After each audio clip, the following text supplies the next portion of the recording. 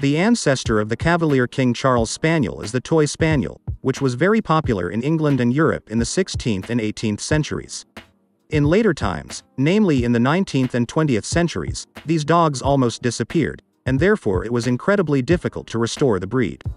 The Cavalier King Charles Spaniel takes its name from the monarchs Charles I and II, the grandsons of Queen Mary. They are small dogs, compact in build.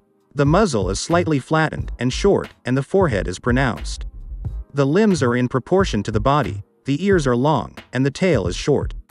The coat is long. Cavalier King Charles Spaniel is a purely decorative breed that can perform only one function, companion. No other functions are provided for in principle, and it has been cultivated and nurtured in the breed for hundreds of years. In the Middle Ages, these dogs lived in luxury, and although times have changed, they still like to be at home, in a comfortable environment, together with their owner and loved ones. Cavalier King Charles Spaniel loves to be held and generally loves affection. Being away from their family and the owner, this breed cannot categorically, and, therefore, accept the fact that if you buy this dog, and leave it to friends while you go on vacation, it will not work.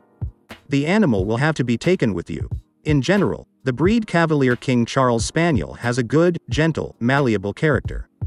But if he is spoiled, the character can deteriorate, the dog will become capricious and may not even react quite adequately, and even to members of his own family.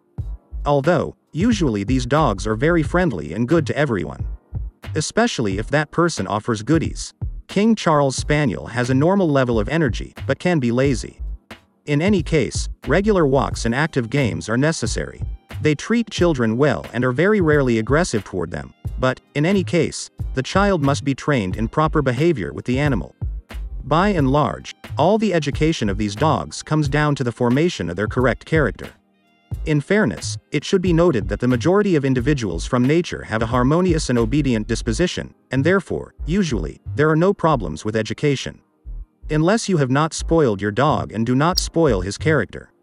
Of course, you need to teach your pet basic commands, and also, if you want to take part in various dog shows, be sure to study in advance in what disciplines this breed is used. You can shape the process of training, starting from the specific tasks.